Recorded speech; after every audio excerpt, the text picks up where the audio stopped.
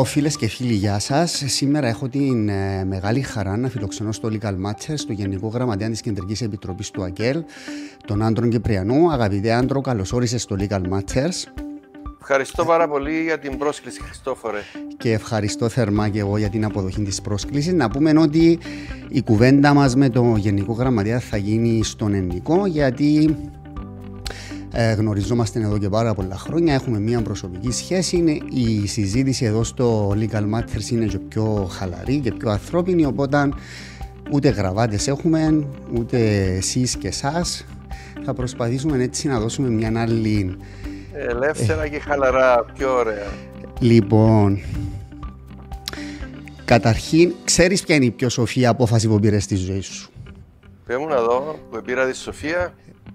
Ναι, που πήρες μια παλαιχορκάτισσα, διότι είμαι και εγώ, όπως ξέρεις, από το παλαιχώρι. Είναι, είναι η κόρη του Ποδινά, δεν είναι; Του Απόστολου του Ποδινά, ναι. Που είναι ο Μιχαήλης ο Ποδινάς, είναι θείος της. Είναι θείος της, αδερφός του πατέρα της. Ναι. Εγώ μεγάλωσα. Εγώ έστελε με η γιαγιά μου στο συνεργατικό, όταν ήμουν στο Παλαιχώρι, οπότε ήταν ε, ζει ακόμα νομίζω, τον είδα πριν λίγα χρόνια. Είναι 92. Ναι, 91, ναι. 92. Την τελευταία φορά που τον είδα ήταν ακμεότατος όμως. Ήταν ο μπακάλης μας. Καταρχήν ήταν το τηλέφωνο ναι. εκεί στην πλατεία, όπως ξέρεις, που τότε που ήμουν εγώ ναι, μικρός. Ναι, ναι. Εφωνάζαμε μας, πηγαίναμε εκεί, αλλά έστελε με και η γιαγιά μου με λίστα. Και βέβαια έξερε τα πράγματα, τότε το συνεργατικό ήταν, ήταν άλλες εποχές, ήταν ωραίες εποχές. Βέβαια το συνεργατισμό κλείσαμε τον στο τέλος όμως. Ε, κλείσαμε το δυστυχώς. να πω ότι ε. προβλήματα υπήρχαν πάντα στο mm. συνεργατισμό και σίγουρα ε, υπάρχουν πολλές περιπτώσεις που θα πρέπει να διωχθούν. Ναι. Αλλά όπως λέει και το πόρισμα της Ερευνητικής Επιτροπής, mm-hmm. ανεξάρτητα με τα προβλήματα τα οποία υπήρχαν προηγουμένως, ουδέποτε θα έφτανε στην κατάρρευση μια τόσο τεράστια τράπεζα διότι ήταν μια τράπεζα τεράστια. Ναι. Ε, και λέει ξεκάθαρα ότι οι λόγοι για τους οποίους εγκατέρευσε πρέπει να αναζητηθούν στην περίοδο μετά το 2013. Το 2013 εκρίθηκε βιώσιμος ο συνεργατισμός, ναι. εδόθηκε έναν τεράστιο ποσό από την κυβέρνηση, τον επήρενε στην ε, διοίκηση της, εδιόρισε mm-hmm. ανθρώπους οι οποίοι ανέλαβαν να το διαχειριστούν και τελικά καταλήξαμε ναι. εκεί που καταλήξαμε. Και δαχτυλοδείχνει, ναι, δαχτυλοδείχνει η Επιτροπή, η ερευνητική, mm-hmm. θα μιλήσω και τηλέφωνο. Ναι, ναι. Ε, ε, το χάρη το Γεωργιάδη, αλλά το, το θέμα όμως είναι Εντάξει, βέβαια ξεκινήσαμε από τον, τον Μιχαηλίν τον Ποδινά, πήγαμε στο συνεργατισμό, ναι, αλλά ναι. Ε, ε, είχε προβλήματα όμως ο, ο, ο συνεργατισμός από πριν. Δηλαδή υπήρχε κακοδιαχείριση, υπήρχαν. Σε κάποια συνεργατικά πιστοτικά ιδρύματα, βέβαια, όχι σε όλα. Όχι σε υπήρχαν προβλήματα.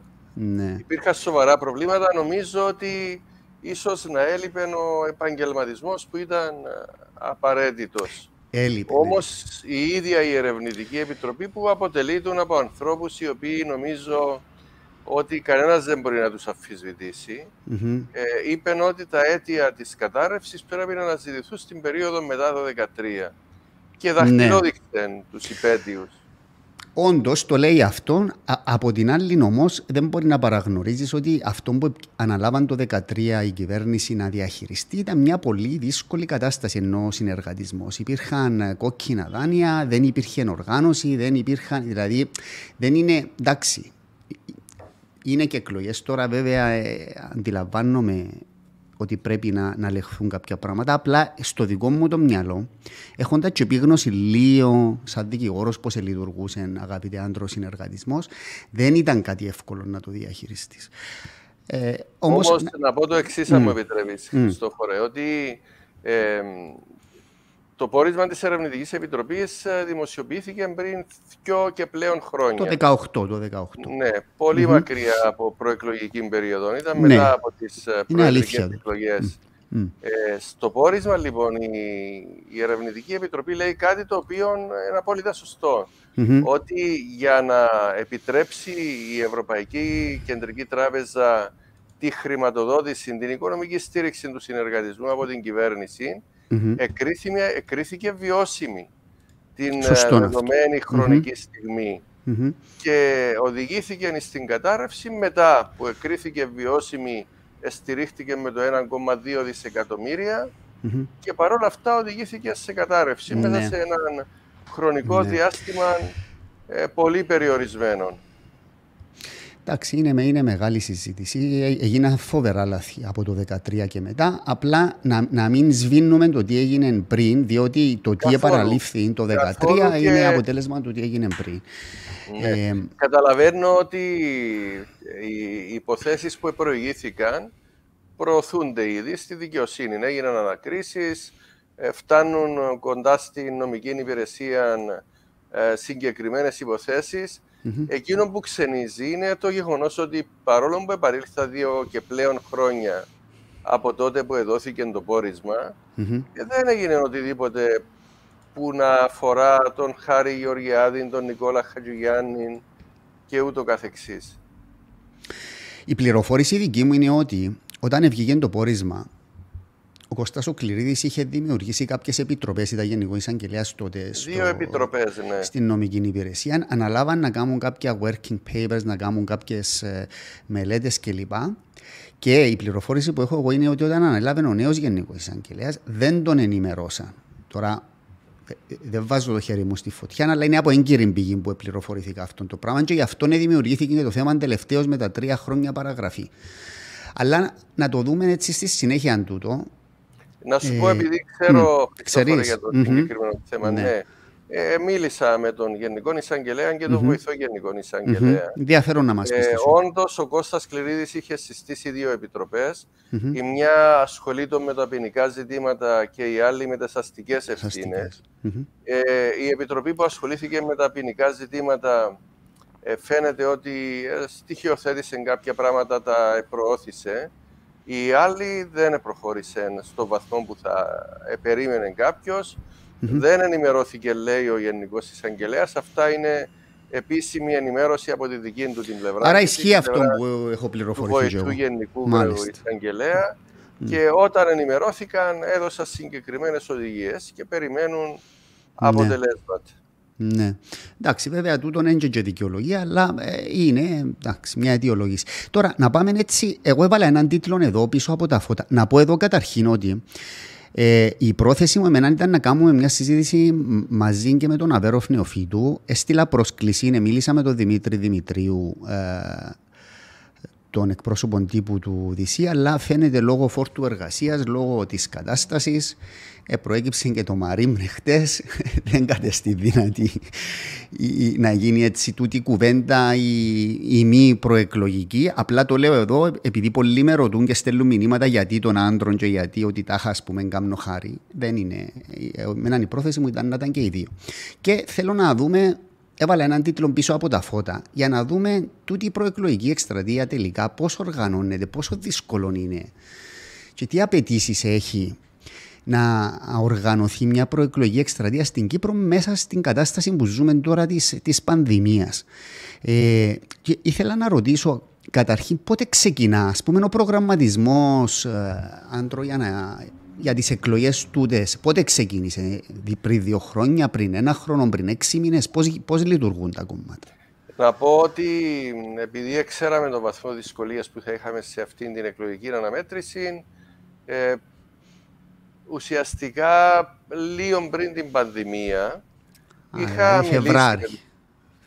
ναι, είχα μιλήσει με τους επαρχιακούς γραμματείς ε, να ξεκινήσουν να κάνουν σκέψεις για ενδεχόμενους Πρέπει να πω ότι η πανδημία είχε προκαλέσει τεράστια προβλήματα στην ομαλή διεξαγωγή της προεκλογικής προσπάθειας την οποία ε, αναπτύξαμε ως ΑΚΕΛ με την εννοια ότι ε, περιορίστηκε η δυνατότητα μας να έχουμε επικοινωνία και επαφή με τον κόσμο, ζωντανή επαφή, διότι ναι. πρέπει να πω ότι μάθαμε όλοι το διαδίκτυο.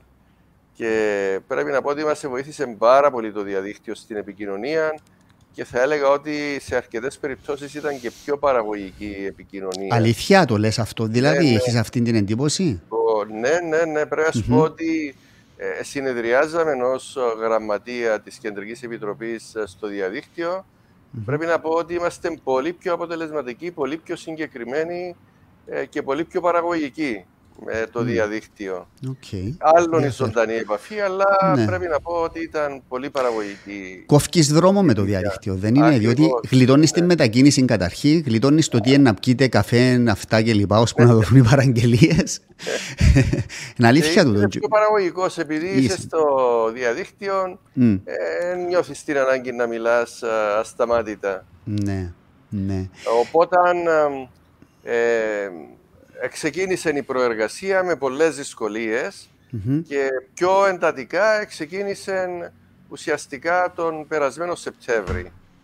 Ε, να...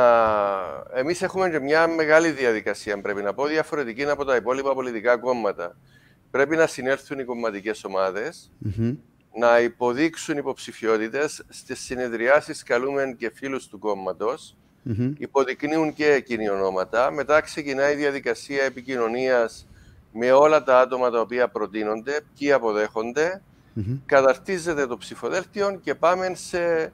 Πρώτα στην Επαρχιακή Επιτροπή γίνεται μια πρώτη και μετά στις επαρχιακές συνδιασκέψεις οι οποίες ψηφίζουν και καταρτίζουν τα ψηφοδέλτια. Και υπάρχει στη συνέχεια η τυπική έγκριση από την ε, Κεντρική Επιτροπή. Μια διαδικασία που παίρνει περίπου τρεις μήνες να ολοκληρωθεί. Τούτη τη φορά έγινε Στην πρώτη φάση, επειδή δεν μπορούσαμε να πάμε σε συνεδριάσεις των κομματικών ομάδων λόγω του lockdown και ναι. λοιπά, ε, έγινε τηλεφωνική επαφή με τα μέλη του κόμματος. Πρέπει να πω ότι ήταν και, και εκείνη πολύ αποδοτική, διότι επικοινώνησαν οι επαρχιακές επιτροπές με πολύ περισσότερον κόσμο από εκείνους που προσέρχονται στις συνεδριάσεις. Και πήραν απόψεις, ας πούμε, ονόματα, ε, feedback πήραν απόψεις, ονόματα. Ναι. Ε, συγκεντρώθηκε ο κατάλογος, έγιναν οι επαφές. Πρέπει να σου πω ότι αυτή τη φορά είχαμε πολύ περισσότερες υποψηφιότητες από την προηγούμενη και, και σε κάθε επαρχία. Ε, όταν λοιπόν πήραμε τα ονόματα, ε, ε, ε, πήγαμε στις επαρχιακές και εκεί έγιναν οι ψηφοφορίες. Και εδώ με προβλήματα οι επαρχιακές συνδιασκέψεις. Συνήθως γίνονται ζωντανές, υπάρχει μια πολιτική και στη συνέχεια ε, Ψηφίζουν μετά από την πολιτική ομιλία υπάρχουν απόψεις και ψηφίζουν. Με κάλπη ή μυστική ψηφοφορία. Μυστική ναι, ψηφοφορία. ψηφοφορία. Μάλιστα. Αυτή τη φορά δεν είχαμε την ε, πολιτική ομιλία.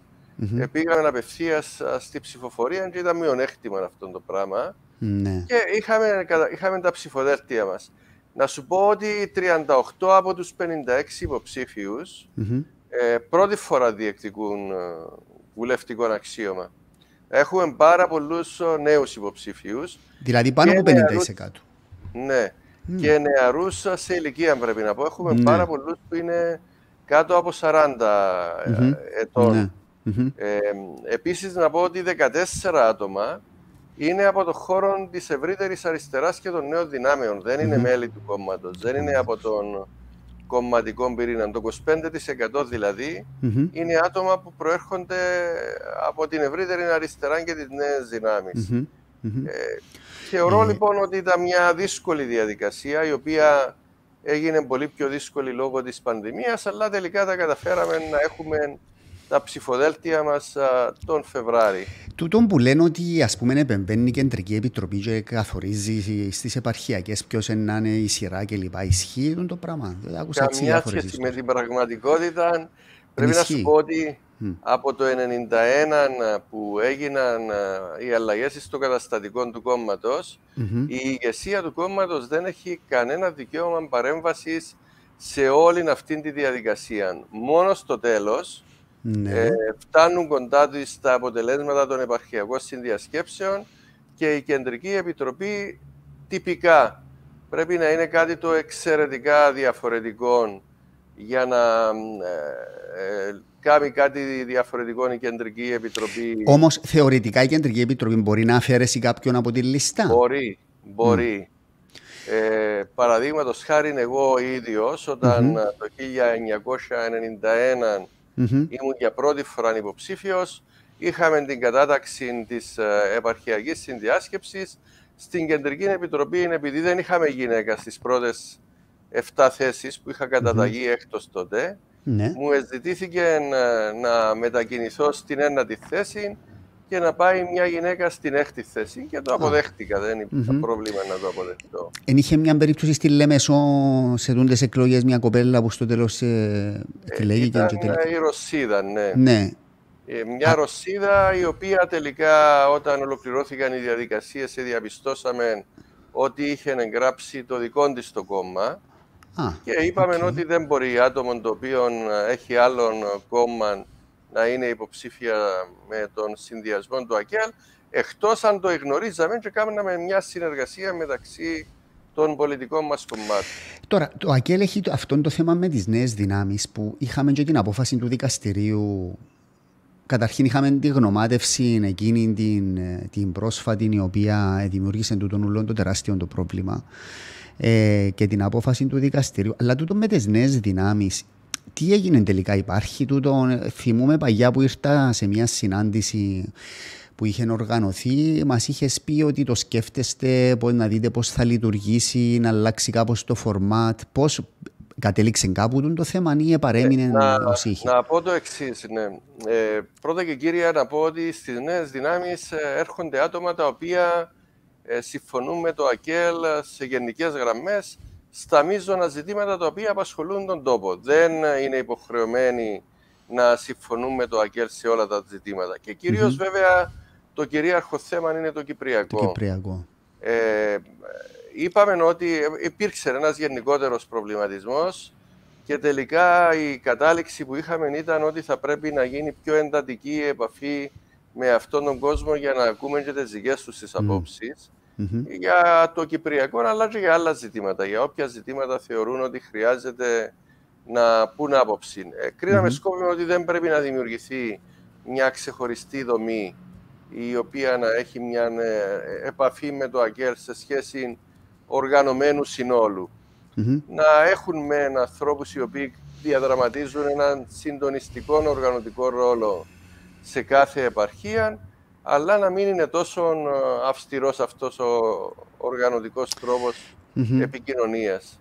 Βέβαια, ε, να σου πω, εγώ έχω την αίσθηση, δεν ξέρω εσύ, ξέρεις καλύτερα, ότι υπάρχει ένας μεγάλος όγκος κόσμου ψηφοφόρων που ψήφιζαν ακέλ παραδοσιακά και τώρα για χρόνια για τον ΑΒ λόγο είναι κοιμόμενοι. Δηλαδή, είναι στο πλάι, δεν συμμετέχουν ούτε στις εκλογές, δεν πάνε να ψήφισουν άλλον κόμμα, δεν πάνε να ψήφισουν, ας πούμε, δίκο ή ΕΔΕΚ ή οτιδήποτε άλλο.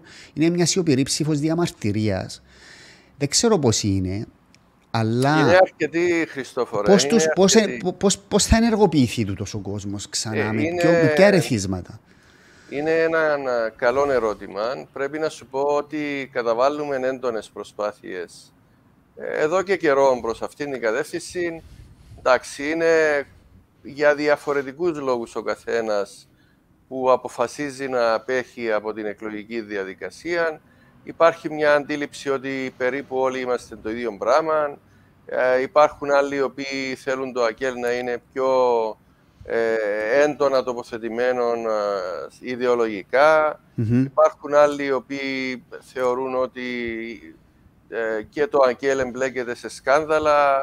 Υπάρχουν άλλοι που θεωρούν ότι δεν τους προστάτευσε ε, στα, στην επίθεση που εδέχτηκε από μια αντιλαϊκή κυβέρνηση όπως είναι η κυβέρνηση του συναγερμου και πολλές άλλες απόψεις οι οποίες ε, ναι. εκφράζονται. Είναι πολλοί κόσμος αυτός. Ε, χαίρομαι και θέλω να πω έναν μεγάλο σε πολλοί κόσμο, ο οποίος ε, σε προηγούμενες εκλογικές αναμετρήσεις επέλεξε να μην ψηφίσει ΑΚΕΛ και σε αυτές τις εκλογές ε, βγαίνει μπροστά και δηλώνει και μάλιστα εξηγά γιατί ψηφίζω ΑΚΕΛ. Και είναι μεγάλος ο αριθμός αυτών των ανθρώπων. Ε, μάλιστα έγινε και μια διαδικτυακή συζήτηση από ό,τι έχω υπόψη μου, η οποία μάλιστα ήταν, είχε και πάρα πολλές συμμετοχές, όπου προσωπικότητες ε, ανέλησαν τους λόγους γιατί αποφασίζουν αυτή τη φορά να ψηφίσουν ΑΚΕΛ. Και χαίρομαι γιατί είδα ανάμεσα σε αυτούς ονόματα τα οποία ε, είχαν ένα σημαντικό ρόλο στα πολιτικά πράγματα του τοπου Και αυτό θα μας βοηθήσει σε πάρα πολύ Όμως μεγάλο η μάζα του κόσμου έχει πολλούς που είναι. Δηλαδή, εγώ το ξέρω από το περιβάλλον το δικό μου. Από το χώρο που κινούμε, από το χώρο της ομόνιας που είναι συγγενικός και ε, ναι, ναι. η πραγματικότητα είναι ότι υπάρχει ας πούμε εκεί ένας κόσμος και βλέπω τούτο το πράγμα και πάντα το ερώτημα που μπαίνει είναι γιατί δεν πας να, ας πούμε, να ψηφίσεις οποιοδήποτε, όχι το ΑΚΕΛ, οτιδήποτε και τούτοι οι άνθρωποι επιλέγουν, θεωρούν ότι με το να απέχουν ότι τιμωρούν και δεν ξέρω πώς θα μπουν ξανά στην, στο παιχνίδι εντός εισαγωγικών. Ε, από την άλλη, το ΑΚΕΛ επλήρωσε έναν κόστος καλά ή κακά, στην κατάληξη της διακυβέρνησης Χριστόφια. Θεωρείς ότι, ότι επλήρωσε τον λογαριασμό πλέον μετά από 10 χρόνια και είναι έτοιμο να, πούμε, να πάει παρακάτω; Ε, δεν νομίζω ότι είναι έτσι απλά τα πράγματα. Δεν είναι; Πώς είναι; Ήταν τόσο απλά. Είναι πολύ πιο σύνθετα τα πράγματα. Να πω ότι στην κοινωνία αναπτύσσεται μια αντίληψη από πολιτικοποίησης. Και αυτό κατά την άποψη μου είναι το πιο επικίνδυνο. Και το δεύτερο, ε, και μια αντίληψη λαϊκισμού. Όταν δεν υπάρχουν ξεκινά ο λαϊκισμός. Την ίδια στιγμή νομίζω ότι ε, πολλοί επιχειρούν να καλλιεργήσουν μια αντίληψη ε, να προσεγγίζει ο κόσμος στα ζητήματα Και αυτό δεν βοηθά το σοβαρό πολιτικών λόγων δεν βοηθά εκείνους οι οποίοι προσπαθούν να πολιτεύονται με επιχειρήματα. Ε, παραπάνω βοηθά όσους λες θύματα και ατάκες. Ε, εμείς είμαστε κόμμα κατά κανόνα σοβαρό.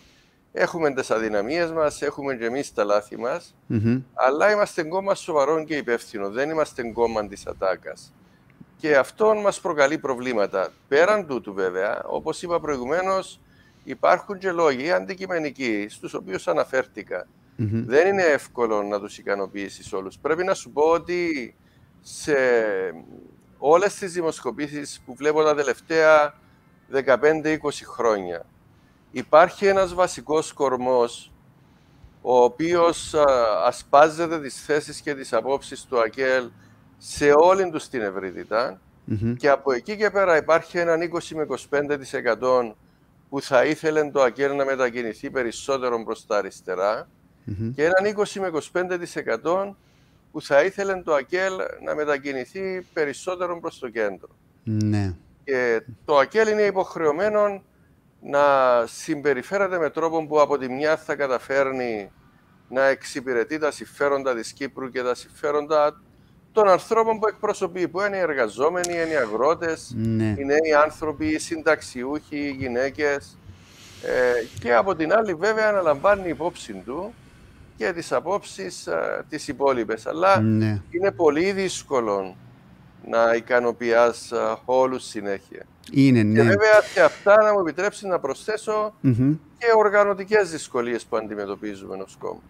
Μήπως τελικά το ΑΚΕΛ δεν ήταν έτοιμο να κυβερνήσει το 2008. Να σου πω τι εννοώ. Εγώ παρακολουθώ την πολιτική από τον καιρό που ήμουν μαθητής, μετά όταν ήρθα από τις σπουδές μου, θυμούμαι πιένευε στη Βουλή την παγιά και παρακολουθούσα συνεδριάσεις.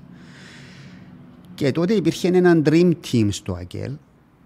Ήταν ο Κατσουρίδης, ο Ανδρέας, ο Χρήστο, ο Χριστόφιας, εσύ. Υπήρχε, ας πούμε, μια, μια ζωντάνια, μια μεσότητα, μια, μια ευρύτητα υπήρχε το αριστερό κίνημα και πιστεύαμε όλοι ότι όταν αναλάβανε τούτον το κόμμα τα ενία να κυβερνήσει ότι θα γίνονταν με, να μην πω θαύματα ότι θα, θα επήγαινε η κοινωνία μπροστά έτσι γενικότερα. Μιλώ τώρα προσωπικά πώς τα έβλεπα τα ζητήματα έτσι. Και στο τέλος ήταν μια απογοήτευση. Είτε ηθελημένα είτε αθέλητα. Εγώ μιλώ για το αποτέλεσμα. Δεν λέω ότι έγινε επίτηδες. Ε, συνεβήκαν πράγματα όπως και το Μαρίν που ήταν απρόβλεπτα, η παγκοσμία οικονομική κρίση και όλα αυτά. Η, η κατάληξη όμως ήταν, ήταν απογοητευτική και σκέφτομαι ώρες ώρες μήπως δεν ήταν έτοιμο το ΑΚΕΛ. να κυβερνήσει τη χώρα το 2000. Μήπως πρέπει να περιμένει κι άλλο. Και πληρώνει, uh, για τον τον λόγο πληρώνει τόσο πολύ κόστος ακόμα. Και τούτο που λέμε σήμερα ότι δεν κεφαλαιοποιεί ε, τα, τα, λάθη αυτής της κυβέρνησης ισχύει, δεν ισχύει. Και δεν οφείλεται σε τούτο. Ναι, ε, δύο διαφορετικά πράγματα να τα πιάσουμε έναν έναν. Το πρώτο, αν η συγκυρία ήταν τέτοια που ευνοούσε mm-hmm. την άνοδο του ΑΚΕΛ στην Προεδρία, εν το ένα σκέλος βέβαια, και λέω ότι την ευνοούσε. Mm-hmm. Και απόδειξη τούτου είναι το γεγονός ότι ο Δημήτρης Χριστόφιας εκλέγηκε. Ήταν τέτοια mm-hmm. η πολιτική συγκυρία, αξιολογήσαμε τα δεδομένα και προβλέψαμε ότι μπορούσε να κερδίσει τις εκλογές το Δημήτρη. Ε, ναι, εγώ ένα άλλο που λέω. Άλλο να, ναι, να, να είχες το chance. Ναι, ναι okay. θα έρθω στο δεύτερο σκέλος. Η μεγάλη ατυχία κατά την άποψη μου ήταν η παγκόσμια οικονομική κρίση, η οποία παρόλο που μας άγγιξε, την είχαμε προσπεράσει για ένα διάστημα και τούτο λέω το γιατί. Γιατί στις εκλογές του 2011 τον Μάιο, mm-hmm. παρόλη την πολεμική που εδεχόταν το ΑΚΕΛ, είχαμε πάρει 32,7% στις βουλευτικές εκλογές. Ήταν κυβέρνηση όμως ήταν. Ε, εντάξει, και μετά ήταν κυβέρνηση. Αλλά εκείνο που λέω είναι ότι αντέξαμε. Ήταν η μεγάλη τραπεζική κρίση του 2012, το Μαρί που ακολούθησε, διότι οι βουλευτικές εκλογές έγιναν το Μάιο, το Μάιο. του 2011. Τον Ιούλιο του 2011 ακολούθησε το Μαρί. Η ισοπαίδωση από το Δημοκρατικό Συναγερμό και τους υπόλοιπους από τα μέσα ενημέρωσης. Ακολούθησε η τραπεζική κρίση το 2012 που δεν είχε τη δυνατότητα η κυβέρνηση να την αντιμετωπίσει γιατί ήταν 8 φορές μεγαλύτερο από το μέγεθος του κράτους το μέγεθος των τραπεζών μας. Και αυτό από μόνο του ήταν ένα τεράστιο πρόβλημα. Ήταν, ναι. Και αυτά οδήγησαν σε όλα τα προβλήματα που ακολούθησαν. Εγώ θεωρώ ότι επαράχθηκε πάρα πολύ έργο, όμως αυτά τα δύο σημαντικά συμβάντα, το Μαρί και η τραπεζική κρίση, επεσκίασαν όλα και έδωσαν τη δυνατότητα σε εκείνους οι οποίοι συμπεριφέρονταν ισοπεδωτικά να περάσουν μηνύματα στην κοινωνία. Αφήσε πολλά τραύματα εκείνη η περίοδος. Ε, και βέβαια έναν επιπρόσθετο πρόβλημα το οποίο πάντα θα υπάρχει και είναι κάτι που μας προβληματίζει συνέχεια είναι ότι πρέπει να λειτουργήσουμε μέσα σε συγκεκριμένα πλαίσια mm-hmm. ενός καπιταλιστικού κράτους, μιας Ευρωπαϊκής Ένωσης η οποία έχει συγκεκριμένες αρχές και προτεραιότητες. Και το ερώτημα είναι, θα μένουμε πάντα στην αντιπολίτευση ή θα διεκδικούμε και θα προσπαθούμε να παίρνουμε τα πράγματα βήματα παρακάτω; Ε, σίγουρα νομίζω ότι πρέπει να έχουμε διδαχτεί πάρα πολλά. Και διδαχτήκαμε πρώτη... όμως, διότι αυτοκριτική δεν έγινε στην ουσία. Όχι, έκαναμε στην κεντρική επιτροπή, πρέπει να πω ότι... Μα έκαναμε την μεταξύ σας. Ναι, ναι. δεν την έκαναμε δημόσια. Έχεις απόλυτο δίκαιο. Είναι ένα θέμα του. Για έναν απλό λόγο. Mm. Ε, διότι αμέσως μετά που συνήλθε η Κεντρική Επιτροπή και ετοιμάσαμε και έναν έγγραφο με τις αδυναμίες μας, ε, προέκυψε το κούρεμα των καταθέσεων. Mm. Οπότε πλέον ήταν ένας σχήμαρο ο οποίος επαρέσυρε τα πάντα, το κούρεμα των καταθέσεων, ε, τα προβλήματα τα οποία συσσωρευτήκαν στη συνέχεια και ε, πέρασε σε εντελώς δεύτερη μοίρα η εκτίμηση που έγινε για, την, ε, για το εκλογικό αποτέλεσμα και τα προβλήματα τα οποία είχαν προκύψει. Mm-hmm. Όμως υπάρχει, υπάρχει στα έγγραφα της Κεντρικής Επιτροπής η εκτίμηση που έγινε τότε για τη διακυβέρνηση. Και ποια είναι, με, θετικά, με, δυο, με δυο λόγια, ποια είναι; Με τα θετικά και τα αρνητικά.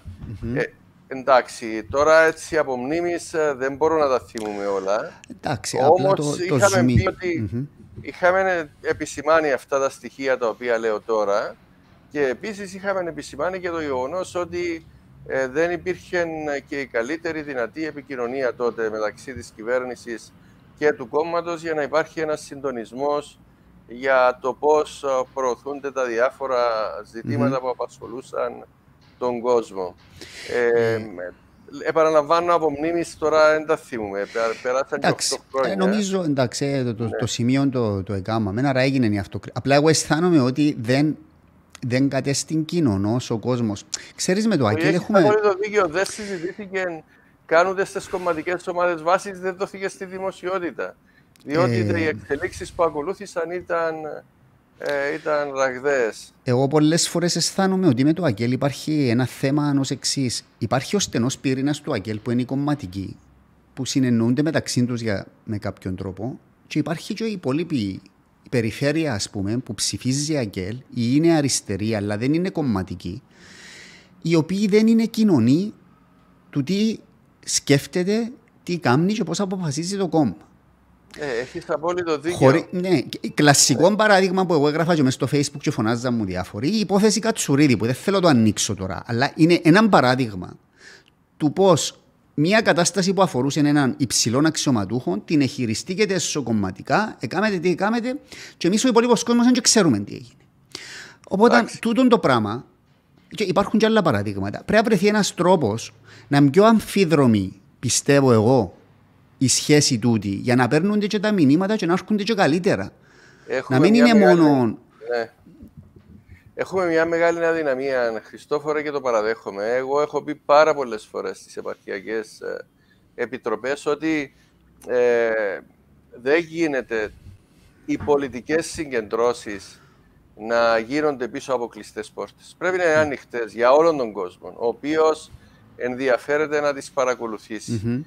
Και μάλιστα ενδεχομένως να επιλεγούν και χώροι άλλοι πέραν από τους συλλόγους της αριστεράς για να δοθεί η δυνατότητα και σε άλλον κόσμο ο οποίος δεν θέλει να πάει στο σύλλογο ή στο καφενείο για να ακούσει τη συγκέντρωση.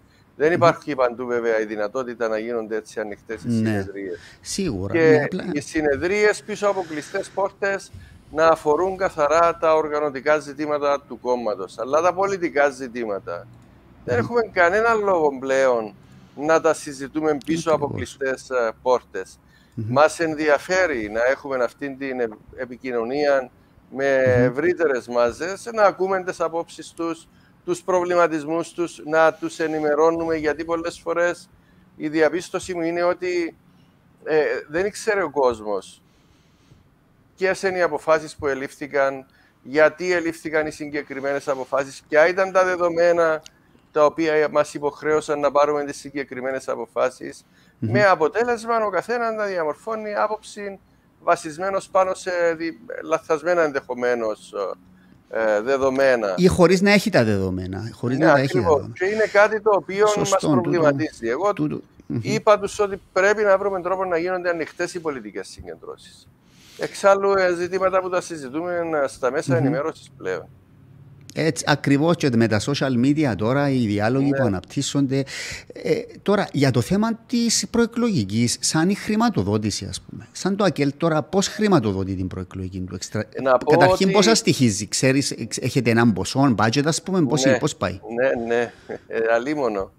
Ε, πρέπει να πω ότι ε, τα τελευταία χρόνια λόγω των δυσκολιών που εχουμε ε, περιορίζουμε το κόστος των προεκλογικών εκστρατιών σε σχέση με το παρελθον Ε, σε αυτήν την εκλογική αναμέτρηση υπολογίζουμε ότι θα μας κοστίσει ο προϋπολογισμός που εκαθορίσαμε ήταν γύρω στις 600.000 ευρώ. Mm-hmm. Ε, στις προηγούμενες ευρωεκλογές ε, βάλαμε προϋπολογισμό μόνο 70.000 ευρώ.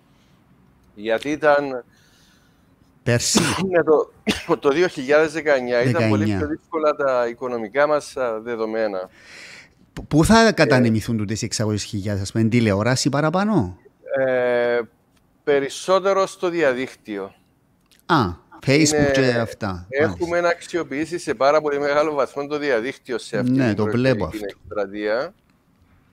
Και βέβαια, ναι, στην ε, τηλεόραση και στο ραδιόφωνο, λιγότερο σε εφημερίδες και περιοδικα και πολύ λιγότερο σε outdoor διαφήμιση. Να έχει παράπονο ο Κώστας ο Χρήστο όμως, α. Έτσι, α. ε, δυστυχώς ε, δεν φτάνουν τα λεφτά. Δεν φτάνουν. Ε, νομίζω όμως ότι εκαλύψαν τους υποψήφοι του Δημοκρατικού Συναγερμού για το δίκαιο. Ναι, ναι, νομίζω ότι δεν έχουν. Τα πέλες όλες.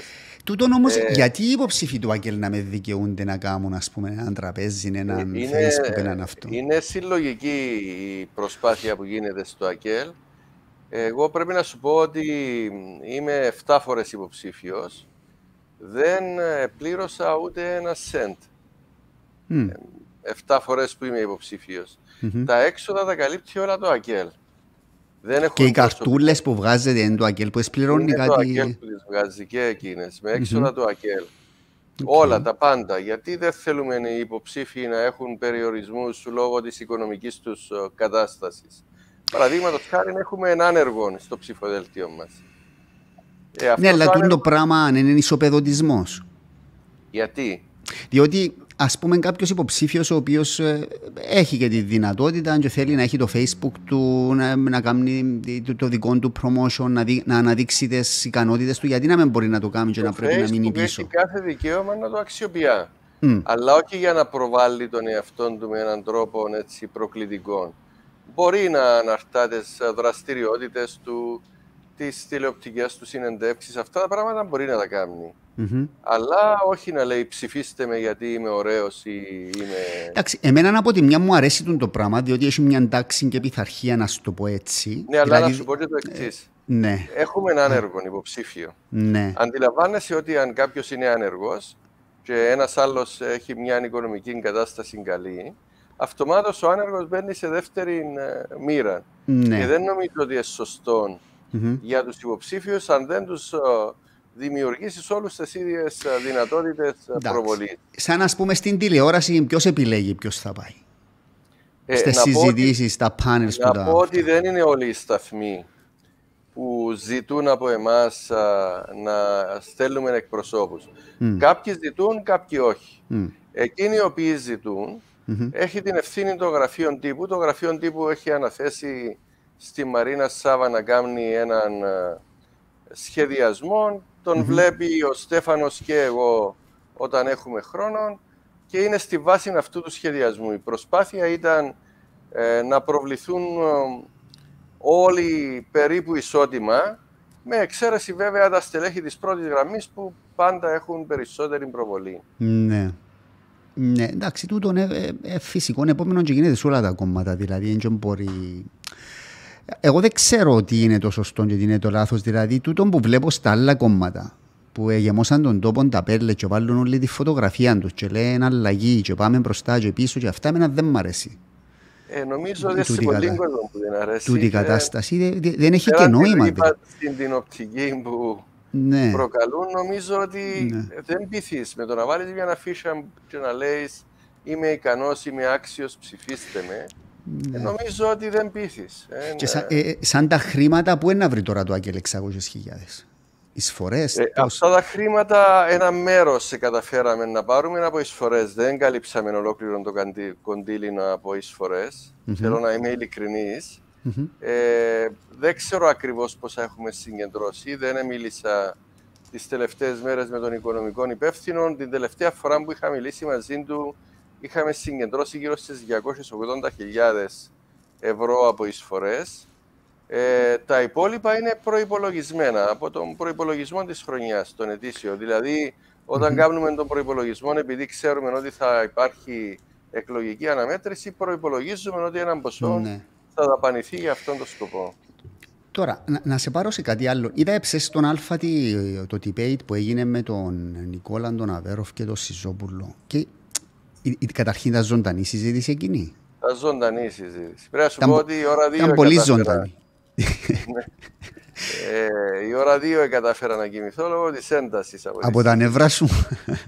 από τα νεύρα μου. Πρώτη φορά εκνευρίστηκα τόσο πολύ, πρέπει να πω. Γιατί υπάρχει έτσι Παρόλο το που νομίζω ψήφο. ότι δεν το έδειξα, αλλά εντάξει, δεν το έδειξα. Ε, σε κάποια φάση στο το βαθμό που έδειξες ήμουν, ναι. και εσύ και ο Αβέροφ, αλλά γιατί ρε παιδί μου, ας πούμε υπάρχει, τον, εν μπορεί να είσαι σε πιο χαμηλούς τόνους. Ξέρεις, εμείς που το βλέπουμε, κάποτε ώρες ώρες μένει και διαρωτάσαι και λες, τώρα τι κάνουν το τι. Ε, εντάξει. Ε, νομίζω ότι γενικά είμαι άνθρωπος που συζητώ πολύ πολιτισμένα και πολύ ήρεμα. ναι, Εξαρτάται πόσο προκλητικός είναι ο άλλος ναι. και πόσο προσπαθεί να... Ξέρεις, ένα πράγμα το οποίο δεν ανέχουμε είναι τα συνθήματα και τις ατάκες Μμμ. οι οποίες στέλνουν και πολύ λαθασμένα μηνύματα από την πραγματικότητα. Καλά, όταν ο Αβέροφ ήρθε με τις ζυβανίες και τις λούντζες τελευταία εκεί και βρεθήκετε, είπετε τα, τι σου είπε, τι ήταν το κλίμα και πώς γίνεται μέσα σε δύο μήνες να μην θέλει ο ένας να δει τον άλλον. Ε, δηλαδή, αυτόν είπα. Εγώ αυτόν πώς... είπα. Πρέπει να μας πει ο Αβέροφ, ποιον Αβέροφ να πιστέψουμε. Εκείνον που ήρθε με τις λούντζε και τις ζιβανίε και είπε μου εκείνα που μου είπε εκείνη την ημέρα, ή τον Αβέροφ που είπε εκείνα τα πράγματα που είπε εψέ για το ΑΚΕΛ. Ποιον που του είπε ο Αβέροφ να πιστέψουμε. Δεν γίνεται σε περιόδους που χρειάζεσαι κάποιους να τους λέεις ότι είσαστε πατριώτες, είσαστε σοβαροί, είσαστε υπεύθυνοι και όταν καίγεσαι για πέντε ψήφους να ισοπεδώνεις τα πάντα. Ε, Αυτό είναι πολύ ενοχλητικό. Από την άλλη όμως τον αδική. Ενώ πώς θα συσπηρώσει το κόμμα του, διότι Εντάξει, έχει και τα να, βαρύδια. Να χρησιμοποιήσει πολιτικά επιχειρήματα και ναι. αντικειμενικά δεδομένα. Ε, εντάξει, προσπαθεί, πιστεύω, αν και δεν συμφωνώ, αλλά και που καταλάβω εγώ είναι ότι προσπαθεί να, να, να συσπηρώσει το σκληρό πυρήνα, ειδικά το Μαρίν, η, κουβέ, η κουβέντα που είπε.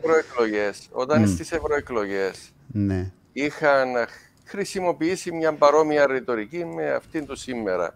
Mm-hmm. Θυμάστε, τότε μας είπαν ότι εσείς είσαστε μηδενικά και δεν μπορείτε να κρίνετε τους άριστους των αρίστων mm-hmm. Που διορίζουμε εμείς. Έτσι mm. μας είπαν. Mm-hmm. Και όταν ε, απαντήσαμε στον πρόεδρο και στον συναγερμό, είπαμε μας, μα ξέρετε, δεν τον κόσμο του Αγγέλ περνούσαμε, είναι την ηγεσία του περνούσαμε. Μόνο η ηγεσία του Αγγέλ είναι τα μηδενικά, ο κόσμος είναι τα μηδενικά. Και νομίσαν ότι εσάσαν το με αυτόν τον τρόπο. Μετά είπαν μας ότι εδανικές οι ψήφοι. Είπαν μας ότι ο Νιαζίο Κιζίλιουρεκ ένα εκπροσωπεί τα συμφέροντα της Τουρκίας και να δείτε να μου να σας κάνει. Έχει δύο χρόνια που είναι ευρωβουλευτής ο Νιαζή. Mm-hmm. Ε, νομίζω ότι είναι συνεπέστατος mm-hmm. ε, έναντι mm-hmm. της Κυπριακής Δημοκρατίας. Ε, όταν τα έγιναν όλα αυτά τα πράγματα, είχαμε συζητήσει για αυτά τα θέματα τότε μετά τη λήξη της προεκλογικής εκστρατείας αρκετά μεγάλο χρονικό διάστημα μετά τη ναι. λήξη της προεκλογικής εκστρατείας. Ναι. Και τους είχα πει ότι αυτά τα πράγματα είναι απαράδεκτα. Και τι σου και αν είμαστε σε προεκλογική ναι. εκστρατεία, δεν θα πω τι μου είπε, διότι δεν θέλω ακόμα να αποκαλύψω τι λέμε πίσω από κλειστές πόρτες, παρόλο που αν συνεχίσουν θα με υποχρεώσουν στο τέλος να λέω κι εγώ ότι μου λένε κατηδίαν. Ε, ναι. ε, Εσύ από την, από την εμπειρία σου, Άντρο, συσπηρώνονται έτσι οι ψηφοφόροι; Ε, δηλαδή, αν ε, ήμουν εγώ ψηφοφόρος στον οποίο θα απευθύνονταν, δεν θα με συσπηρώναν. Εγώ δεν σου κρύβω ότι απογοητεύουμε όταν οι συζητήσεις παίρνουν αυτή την τροπή. Ε, μα και το Αγγέλ καμνεί το κάποτε. Ε, ο Καβίτα θυμά αυτά, γρήβε. Δηλαδή, τούτα τα πράγματα δεν ξέρω, πουλούν ακόμα. Εγώ είμαι μιας γενιάς που εμένα δεν μου κάνουν αίσθηση. Δηλαδή, όταν ε, άκουσα εχθές για το Μάρι. Κοίταξε, κοίταξε, Χριστόφορε, το να βρίσκεται σήμερα η Κύπρος εδώ που βρίσκεται δεν βρίσκεται τυχαία. Ενώ να υπάρχει, κατοχή, να υπάρχει κατοχή να κινδυνεύει με διχοτόμηση.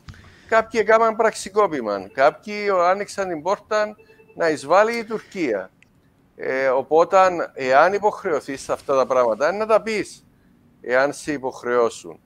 Μα τι σχέση έχουν με το σήμερα τούτα; Δηλαδή, αν πω εγώ τι, αν πω ότι ο Ενογρήβα είναι ο Καβίτα, τι σχέση έχει με τα, με τα ε, ζητήματα του σήμερα που πρέπει να αποφασίσουν. Με την εξής έννοια. Εάν ο Γρήβα συνέβαλε στο να γίνει το πραξικόπημα και να φτάσουμε εδώ που είμαστε σήμερα, και εσύ τον τιμάς, ε, τότε έχει, έχει σημασία αυτό το πράγμα. Δεν μπορείς να λες για έναν άνθρωπο ο οποίος άνοιξε την κερκόπορτα για να εισβάλλει η Τουρκία, να συνεχίζεται η κατοχή μέχρι σήμερα, να λες ότι είναι ήρωα και πρέπει να τον τιμάς. Ναι. Αυτό για μένα είναι παραχάραξη της ιστορίας και είμαι υποχρεωμένος να το σχολιάσω όταν συμβαίνει, εννοώ ναι. Σακέλ, ναι, ναι. εγώ προσωπικά. Ναι, ναι, κατάλαβα. Από εκεί και περα έχει πάρα πολλά προβλήματα ο κόσμος και θα πρέπει να επικεντρωθούμε στα προβλήματα και στις λύσεις τις οποίες προτείνουμε ο κάθε ένας από εμάς. Το ένα. Το δεύτερο, ο άλλος για να σε ακούσει πρέπει να ε, κάνει έναν πολιτισμένο διάλογο, με επιχειρήματα, με θέσεις. Mm-hmm. Ε, αυτό το πράγμα δεν μπορείς να το κάνεις, διότι δυστυχώς ε, όταν οι άλλοι σου πετάζουν συνθήματα και ατάκες, ε, πώς θα σου αντιμετωπίσεις; Και μάλιστα συνθήματα και ατάκες οι οποίες είναι εκτός πραγματικότητας. Ε, δεν είναι μια λύση να μην τους απαντάς. Αυτό με ενοχλεί εμένα προσωπικά ναι. πρέπει να Ναι, αλλά παρασύρεσαι και εσύ νομίζω. Δηλαδή στι ατάκες του Αβέροφ που και άλλων, ενώ, σου το λέω με καλή έννοια τώρα, δεν σου κάνω κριτική. Ναι. Ενώ, ως, όπως το ναι. βλέπω εγώ ως τηλεθεατής εκεί, δηλαδή έψεσαι στον Α, ε, διαρωτούν σε κάποιες φάσεις τι έβλεπα. Ε, ε, είναι σαν να βλέπα δυο έφηβους να μαλλώνουν. Και δεν ξέρω το πράγμα. Να μου επιτρέψεις να πω ότι εγώ προσπαθούσα να πω επιχειρήματα. Ε, Προσπαθούσες, ναι, αλλά δεν υπήρχε από την άλλη. Αυτόν οι συντονιστές τι να κάνουν και εκείνοι. Και ξέρεις, νιώθεις και κάπως λίγο ναύλα. Και φαντάζομαι και εσείς νιώθετε άβολα, δηλαδή. Δεν είναι μόνο εμείς που, που το παρακολουθούμε. Τώρα να μου πεις, εντάξει, δύσκολη κατάσταση. Ο καθένας προσπαθεί να μαζέψει το τι μαζεύεται. Όμως συμφωνείς ότι για να πετάξει την κουβέντα με τον Μαρίνο Αβέροφ πρέπει να είσαι σε πολλά δύσκολη θέση. Ε, εντάξει, γι' αυτόν το απάντησα με τον τρόπο που το απάντησα. Ότι όταν λείπουν τα επιχειρήματα, ξεκινά ο λαϊκισμός. Και το εννοώ πλήρως αυτό το πράγμα. Δεν ήμουν σε κατάσταση ναι. εννοώ αναστάτω, αναστάτωσης για να το πω. Ε, ναι. Ήμουν πολύ ήρεμος, διότι ε, αυτά τα πράγματα καταστρέφουν την πολιτική ζωή. Ναι. Και γι' αυτόν ε, υποχρεωνόμαστε να αντιδρούμε και εμείς mm. με έναν τρόπο ε, παρόμοιο. Τώρα, να, να, να φύγουμε έτσι, να πάμε λίγο στη διαφθορά που θέλω να δούμε κάποια πράγματα, που είναι και ένα κεντρικό σημείο της ε, ρητορικής του ΑΚΕΛ και, και άλλων κομμάτων και του ΔΙΚΟ και πολύ σωστά, διότι φτάσαμε σε πρωτόγνωρα επίπεδα ε, σε αυτόν τον τόπο. Όμως, η ευθύνη του ΑΚΕΛ για το θέμα της διαφθοράς ποια είναι; Δηλαδή, το ΑΚΕΛ ήταν έξω από αυτήν την κατάσταση τόσα χρόνια. Κοίταξε, να πω το εξής, αγαπητέ mm. Χριστόφορε. Στα πολιτικά πράγματα του τόπου υπήρχε ένας συγκεκριμένος τρόπος λειτουργίας όλα τα προηγούμενα χρόνια. Mm. Και όποιος το αρνιέται αυτό το πράγμα είναι εκτός πραγματικότητας. Mm-hmm. Υπήρχαν πράγματα τα οποία κατά την άποψη μου δεν έπρεπε να γίνονται, εγίνονταν και θεωρούνταν ε, καθόλου φυσιολογικά. Και θεμητά και θεμητά. Όπως οι χρηματοδοτήσεις, ας πούμε, από επιχειρηματίες. Ναι. Αυτό το πράγμα γίνεται και μέχρι σήμερα. Απλώς εβάλαμε όριο ναι. που μπορεί να δίνει κάποιος λεφτά σε έναν πολιτικό Εξακολουθεί να γίνεται όμως. Ε, με περισσότερη διαφάνεια σήμερα και με περισσότερο έλεγχο. Είμαστε υποχρεωμένοι να δηλώνουμε από ποιον παίρνουμε λεφτά, πόσα λεφτά παίρνουμε και να τα καταθέτουμε στον έφορο πολιτικών κομμάτων και στο γενικό ελεκτή βέβαια. Εμείς αναρτούμε τις οικονομικές μας καταστάσεις στο διαδίκτυο. Κάθε χρόνο ο καθένας μπορεί να δει ποιοι μας έδωσαν λεφτά, ε, πόσα λεφτά μας έδωσε ο καθένας, από πού είναι τα έσοδα μας, ποια είναι τα έξοδα μας. Ποια ήταν η λάθος τακτική που λες, ξεκινήσεις να λες για λάθος. Η τακτική είναι ότι αυτά τα πράγματα γίνονταν με έλλειψη διαφάνειας. Έλλειψη διαφάνεια. Πολύ έλλειψη διαφάνειας. Και πολλές φορές ήταν και κάπως ανεξέλεκτη. Δεν υπήρχε, ένα, υπήρχε ένα όμω. Δηλαδή, έρχομαι ναι. εγώ, δίνω στο Αγγέλ 100.000 ευρώ. Αύριο να μάθω θέλω μια χάρη. πολύ απλό, ε, θα σε πάρω να σου πω, ξέρεις, σύντροφε, πρέπει να με κανονίσεις. Συμφωνώ. Ε. Συμφωνώ. Εγώ λέω το εξής πάρα πολύ απλό. Mm. Να δούμε πώς τοποθετείται ο κάθε ένας όταν συζητιούνται τα διάφορα ζητήματα στη Βουλή. Mm-hmm. Παραδείγματος χάρη, προσπαθεί να κατηγορήσει ο συναγερμός στο ΑΚΕΛ ε, για τις τράπεζες, ότι τάχα οι τράπεζες έκαναν του χατήρκ. Mm-hmm. Εγώ λέω σε όλες τις περιπτώσεις που συζητήσαμε θέματα που αφορούσαν τις τράπεζες και τον κόσμο στη Βουλή, το ΑΚΕΛ ετάχθηκε να αναφαντώνει ενάντια στις τράπεζες. Εστήριξε τον κόσμο.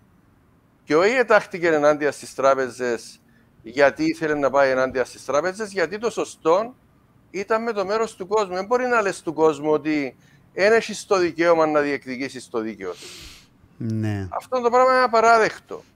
Και στηρίξαμε τον κόσμο. Ω εκ τούτου, δεν μπορεί κάποιο να υπενήσεται αυτά τα πράγματα την ώρα που στην πράξη δεν μπορεί να μας, υποστη... να μας κατηγορήσει ότι στηρίξαμε τον έναν ή τον άλλον επιχειρηματία. Τώρα, επανέρχομαι για να πω ότι η, η κοινωνία επέδρασε πάνω σε όλους μας. Και αυτό θα ήταν λάθος να το πούμε. Ποια είναι η ειδοποιώς διαφορά. Η διαφορά είναι ότι όταν το ΑΚΕΛ διαπιστώνει ότι συμβαίνουν αυτά τα πράγματα, επιχειρεί να πάρει δραστικά μέτρα αντιμετώπισης τους, λέει ότι λάθος αυτό το πράγμα πρέπει να διορθωθεί. Εδώ και μερικά χρόνια πρέπει να σου πω ότι έχουμε ξεκινήσει μια εκστρατεία ε, στα σώματα του κόμματος να πούμε στα στελέχη και τα μέλη μας ότι όποιοι συμπεριφέρονται με αυτόν τον τρόπο δεν έχουν θέση στο ΑΚΕΛ και πρέπει να σταθούμε απέναντι από τη διαφθορά, τη διαπλοκή. Ένα κόμμα της αριστεράς δεν μπορεί να έχει σχέση με τέτοια φαινόμενα. Αυτά προσπαθεί να κάνει το ΑΚΕΛ έχοντας επίγνωση ότι υπάρχει επίδραση από την κοινωνία πάνω του και από την άλλη έχουμε έναν πρόεδρο της Δημοκρατίας ο οποίος, του οποίου η οικογενειακή επιχείρηση στέλνει αιτήματα στο Υπουργικό Συμβούλιο, αποφασίζει το Υπουργικό Συμβούλιο, αποκομίζει τεράστια ωφέλη οικονομικά η οικογενειακή επιχείρηση και λέει είμαι άμομος και αμόλυντος.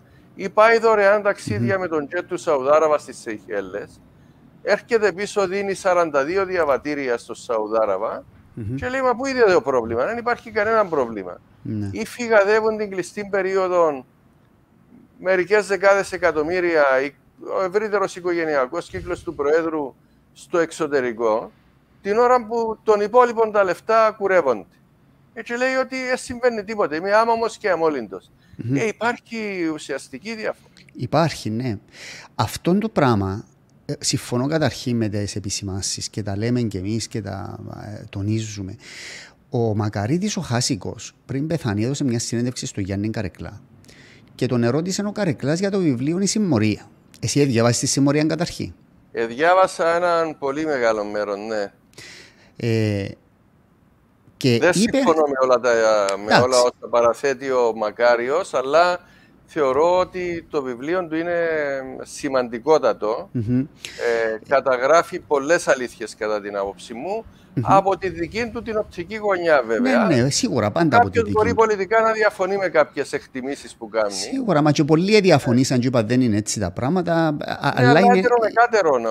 Έτερο με Ο Χάσικος λοιπόν είπε, τον ερώτησε ο Καρεκλά, δεν ξέρω αν είδες τη συνέντευξη. Είναι η τελευταία συνέντευξη που Δεν την είδα, όχι. Τον ερώτησε τι νομίζεις για το βιβλίο κλπ. Και, και είπε ο, ο Χάσικος ότι ναι, το εδιέβασα, αλλά λέει να πω στο φίλο μου τον Μακάριον τον Δρουσιώτη ότι το 18 ο κόσμος ξαναψήφισε τον Αναστασιάδη. Και βασικά ήθελε να πει ότι ξέραμε και για τους συμπεθέρους, ξέραμε και για τα κουρέματα, και για το ένα και για το άλλο. Αλλά ο λαός το 18 δεν έκρινε τα ήθελε να πει ο Χάσικος τούτα τα πράγματα. Άρα τι μου λέτε τώρα για συμμορία και ο πράσινο άλλο. Και, και έχει μια βάση, δεν έχει. Έχουμε αυτό, Χριστόφορε. Ε, πρέπει Ποιο; να επαναφέρουμε αρχές και αξίες στην κοινωνία. Η κοινωνία δυστυχώς, εμείς είναι από το 2000 που προειδοποιούσαμε, θυμούμε mm-hmm. στο 20ο συνέδριο του κόμματος, είπαμε ότι καλλιεργήθηκε και αναπτύχθηκε σε πολύ επικίνδυνο βαθμό η νοοτροπία του εύκολου και του γρήγορου πλουτισμού στην Κυπριακή κοινωνία. Και αυτό θα καταστρέψει την Κυπριακή κοινωνία. Πότε έγινε τούτο; Το, στο συνέδριο του κόμματος το Δεκέμβριο του 2000 ήταν η αντίληψη μας για τη σύγχρονη κοινωνία. Ε, μα και το Αγγέλε συμμετείχε στο χρηματιστήριο τότε, άντρο. Το 99, 2000, 2001. Συμμετείχε στο ε, Συμμετείχε, έγιναν οι Δήμητρες, τα Λευκόνικα, τα αυτά. Εγώ τα έζησα αυτά. Του συνεργατισμού, ξέρεις, υπάρχει ένας μεγάλος ε, μύθο. Όλοι λένε το ΑΚΕΛΕ διοικούσε το συνεργατισμό. Ε, δεν συμμετείχε τότε. Δεν έγινε τότε η Δήμητρα. Ναι. Έγινε η Δήμητρα. Αλλά ναι. ποιος κυβερνούσε το συνεργατισμό; Ποια ήταν τα πρώτα στελέχη του συνεργατισμού. Ο Ερωτόκριτος, ο Χλωρακιώτης, ο Λύρα μετά, δεν ήξερα τους προηγούμενους. Ε, αυτοί δεν, ήταν, δεν είχαν σχέση με το ΑΚΕΛ. Στην ηγεσία του κεντρικού συνεργατισμού, το ΑΚΕΛ νομίζω είχε έναν από τους 15 ή τους 17, πόσοι ήταν. Ναι. Και λένε κυβερνούσε το ΑΚΕΛ το συνεργατισμό. Είναι ένας μύθος αυτό το πράγμα. Είναι μύθος. Είναι μύθος. Ε, το δεύτερο που θέλω να πω, τότε έκαμε μπόρισμα η Βουλή. Mm-hmm. Πρόεδρος της Επιτροπής ε, Ελέγχου της Βουλής τότε Μπουργουρίδης. ήταν ο Χρήστος ο Μπουργουρίδης. Mm. Ήμουν μέλος στην Επιτροπή. Θυμούμε τους καυκάδες που έκαναμε με τον πρόδρομο προδρόμου, ο οποίος ήταν ο δεύτερος από τον Δημοκρατικό Συναγερμό. Ε, το πόρισμα της Επιτροπής Ελέγχου της Βουλής, με πρόεδρο τον Χρήστο Μπουργουρίδη, ο οποίος πρέπει να πω ότι ε, έπαιξε ένα σημαντικό ρόλο για να έχουμε το συγκεκριμένο πόρισμα, Mm-hmm. Εμείς ω Αγγέλες συνεργαστήκαμε άψογα μαζί του. Ήταν καταπελτικό για τις τράπεζες, για το δημοκρατικό συναγερμό και την κυβέρνησή τους. Mm-hmm. Το πόρισμα επέριπτε ευθύνες στη Βουλή για νομοθεσίε, ελλείψεις, αδυναμίες κλπ. Αλλά ήταν καταπέλτης. Εντάξει, σύμφωνοι, εγώ δέχομαι ότι το ΑΚΕΛ είχε έναν και έχει έναν ηθικό πλεονέκτημα σε αυτά τα πράγματα. Απλά εμένα η επιφύλαξη μου είναι ότι ο βίος και η πολιτεία την πενταετία δεν ήταν. Την πενταετία Χριστόφια δεν ήταν ο αναμενόμενος σε πολλά θέματα και είναι Τώρα δεν ξέρω αν είναι δίκαιο να πληρώνει τόσο πολύ κόστος. Δηλαδή, κατά τη στοιχεία με το. Θα πω το εξής, ε, Χριστόφορε, mm-hmm. ε, δίχως να τοποθετούμε σε τον που λέει. Ναι. Εάν αυτός ο τοπο θα ξανααποκτήσει αρχές αξίες και ιδανικά, ε, ο πρώτος που θα πρέπει να παλέψει για να το κάνει είναι το ΑΚΕΛ. Ναι. Εάν θέλουμε να ελπίζουμε ότι μπορούμε να χτίσουμε μια κοινωνία με αρχές αξίες ιδανικά, πρέπει να παλέψει το ΑΚΕΛ για να το κάνει αυτό το πράγμα. Ναι. Ναι. Θα είναι πρώτο κομμάτι το ΑΚΕΛ. Έχει έτσι κάποιες δημοσκοπήσεις, κάποιε. Όχι, ε, εμείς δεν λέμε τέτοιο πράγμα. Ούτε μπαίνουμε σε αυτή τη λογική. Εμείς κάνουμε την προσπάθεια μας και θέλουμε έναν καλό αποτέλεσμα για να μπορέσουμε να χτίσουμε για τη συνέχεια. Το ναι. κίνητρο μας είναι να δούμε πώς εξυπηρετούμε καλύτερα τα συμφέροντα της Κύπρου και του Κυπριακού λαού. Ναι. Και είσαι αισιόδοξος για το αποτέλεσμα της Κυριακής, πιστεύεις ε, ότι. Είμαι αισιόδοξος τι, τι, τι, θα είναι νίκη, τι θα είναι νίκη να κρατήσει τα ποσοστά Κάτι του. περισσότερο να πω ότι πήραμε την προηγούμενη φορά. Mm-hmm. Τα μηνύματα που φτάνουν κοντά μας από τις επαρχιακές οργανώσεις είναι πολύ θετικά, αλλά εγώ τους λέω να είσαστε συγκρατημένοι και επιφυλακτικοί γιατί. Mm-hmm. Γιατί δεν είδαμε τον κόσμο που βλέπαμε σε προηγούμενες εκλογικές αναμετρήσεις. Υπάρχουν πολλοί νέοι σχηματισμοί, οι οποίοι θα απορροφήσουν από όλους τους κομματικούς χώρους.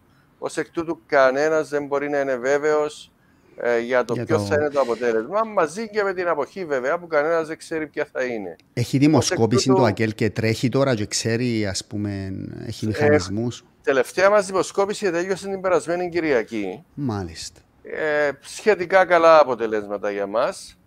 Ε, θα κάνουμε μια ε, κλιμακούμενη δημοσκόπηση για να έχουμε μια ένδειξη περίπου για το αποτέλεσμα. Ναι. Και τη νύχτα των εκλογών υπάρχει επιτελείο που τα παρακολουθεί αυτά. Ναι, ναι, ναι. Έχουμε το δικό μας επιτελείο το οποίο κάνει μια πρόγνωση να πω ότι το 2016 είμαστε οι πιο ακριβείς. Και σε, σε τηλεοπτικές εμφανίσεις θα έχει και άλλες, θα έχει άλλα debate ή ήταν το τελευταίο εχθές; Όχι, έχουμε άλλα debate. Την Πέμπτη στο Σίγμα και την Παρασκευή στο ΡΙΚ. Α, να έχει Πέμπτη και Παρασκευή δηλαδή. Πάλι ήδη ναι, που θα ναι. είστε; Ε, από ό,τι ξέρω, ναι. Είναι κρίμα γιατί επιλέγει και αυτή η σύνθεση. Νομίζω ότι έπρεπε να δοθεί η δυνατότητα και σε πιο μικρά κόμματα να συμμετέχουν σε τέτοιες ναι. συζητήσεις. Ναι. Ε, πάει και με τον αέρα του πρωταθλητής εσύ φέτος βέβαια εκεί σε αυτά τα debate. Ε, μακάρι να καλά η ομόνια, ναι. βέβαια, εντάξει, Έμαθα ότι επίεση στο τελευταίο παιχνίδι, είναι μάθα. Ε, επία πρέπει να πω ότι δεν θα επίαινα. Έφυγε από το γραφείο στις 6 παρα 25. Ε, μου είχαν πει διάφοροι, και ο ίδιος ο Σταύρος, ο Παπασταύρου, ναι. έλα, έλα. Έτσι την τελευταία στιγμή αποφάσισα να πάω. Έχασα κάποια λεπτά στην, στο ναι. ξεκίνημα 6 και 5 ήμουν στο γήπεδο. Ναι. Ε, πώς την είδες την ομάδα; Εντάξει, την είδα ολόκληρο τον χρόνο, παρακολουθώ λοιπόν στην ομόνια από ναι. την τηλεόραση. Ναι. Ήμουν ποδοσφαιριστής, ήμουν φανατικός φίλαθλος, φίλαθλος, όχι ναι. οπαδός. Ναι. Ε, αλλά από κάποια χρονική στιγμή και μετά δεν πάω στο γήπεδο. Ε, νομίζω ότι φέτος η ομόνια ήταν πάρα πολύ καλή, συγκροτημένη, πειθαρχημένη ομάδα. Έτσι είδα και την ΑΕΛ πρέπει να πω. Ήταν πάρα πολύ καλή ομάδα της ΑΕΛ. Εχάλασε τα κάπως στο τέλος η ΑΕΛ. Τα Τούτο με την ΑΕΛ είναι πολιτικό τώρα που το λέεις επειδή είναι λεμεσανή. Όχι, όχι, είναι ποδοσφαιρικό καθαρά. Επειδή χαραυγή πάντα Έλεα. γράφει ομόνια και ΑΕΛ, δεν λέει άλλες Όχι, όχι. Έλεγα πάντα ότι η ΑΕΛ ήταν μια ομάδα ναι. πολύ καλά στημένη. Ήταν όντως. Ήταν Με πολύ καλή απόδοση και για τον ναι. Απόλλωνα θα πω ότι και ο Απόλλωνας μου αρέσει. Ναι. Τα τελευταία χρόνια, όχι μόνο φέτος. Ναι, ναι, ναι. Γίνεται ε, πολύ καλή. Ε, βέβαια έχει κάποιον πρόβλημα. Ο Απόλλωνας φτάνει ως την τελευταία στιγμή ναι. και δεν καταφέρνει να κερδίσει το πρωτάθλημα. Απλά νομίζω φέτος η ομόνια είναι δίκαια το επίρρεν, ήταν η καλύτερη ομάδα, η πιο σταθερή, η πιο συγκροτημένη. Νομίζω δεν υπάρχει αφιβολία. Ήταν πολύ πειθαρχημένη στο γήπεδο, ναι. ήξερε τι ήθελε και ήξερε πώ να το πάρει. Ακριβώς. Και αυτό νομίζω οφείλεται σε μεγάλο βαθμό στον Μπέρκ, ο οποίος ναι. μπορεί κάποτε να μας εκνευρίζει με τις επιλογές του, αλλά ξέρει να παίρνει ναι. τα αποτελέσματα. Σίγουρα, αναφίβολα, ο επικεφαλής εκεί είναι. Και Πάμε για πρόεδρος της Βουλής, έτσι κλείνοντας, έτσι πληροφορίες έχω. Ε, όχι, τούτα να τα αφήσουμε να τα δούμε μετά τη Δευτέρα. ε, θα το απέκλειες όμως. Να τα αφήσουμε να τα δούμε μετά η Δευτέρα. Εντάξει. λοιπόν... θα ήθελα εγώ ένα άλλη ιστορία. Τι θα ήθελες; Ε, ξέρεις, μετά από 33 χρόνια έντονης ανάμειξης στην πολιτική, ε, προσδοκείς έτσι λίγη χαλάρωση, λίγη ανάπαυλα. Εντάξει, εγώ σου άσκησα και κριτική, δεν ξέρω αν το πληροφορηθήκες τότε, διότι είχες πει ότι θα έφευγες και άλλαξες γνώμη και είπα ότι έγινε, ας πούμε. Όχι διότι θέλω να φύγεις ή να μείνεις, αλλά όταν λες ότι εμένα είναι η τελευταία μου θητεία και φεύγω και μετά αλλάζεις γνώμη, κάπου. Ε, ήταν λάθος, έπρεπε να συνεννοηθώ με τους άλλους πριν από κάποια πράγματα. Ναι. Όμως ε, εγώ πιστεύω ότι έχεις, έχεις να προσφέρεις ακόμα ίσως από άλλο μετερίζει, όχι από τη θέση του Γενικού Γραμματέα, αλλά θα, θα δούμε από εβδομάδα φαντάζομαι. Να σε ευχαριστήσω πολύ για τη φιλοξενία. Εγώ ευχαριστώ αγαπητοί άντροι, ήταν μεγάλη χαρά, μεγάλη τιμή για μένα και για το podcast. Ε, θα, ε, είμαι βέβαιος ότι θα έχει τεράστια αναπήχηση στον κόσμο. Να ευχηθώ καλή επιτυχία εκεί, στο, σε εσένα, στο επιτελείο και ελπίζω να τα πούμε και μετά τις εκλογές ξανά. Να είσαι καλά, στη διάθεση ευχαριστώ, του πάντα. Ευχαριστώ, ευχαριστώ. καλόν υπόλοιπο. Γεια.